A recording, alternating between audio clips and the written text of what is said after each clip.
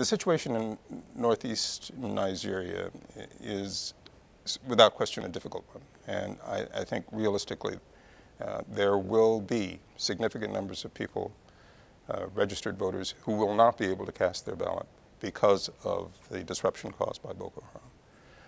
But just as we have seen recently in Ukraine, um, it is possible still to conduct elections and to find ways to ensure that as many people as possible are allowed and able to, to vote in those elections. Uh, I think the situations are somewhat similar in uh, Ukraine to northern Nigeria.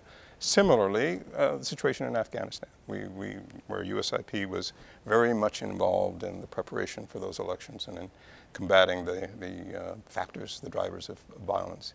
Um, the fact that uh, a war was being conducted there did not prevent elections to being, being held. So that is essentially what we were also looking for in Nigeria is an effort on the part of the organizers of the elections to do everything in their power, everything possible to enfranchise as many of those people in the Northeast as possible.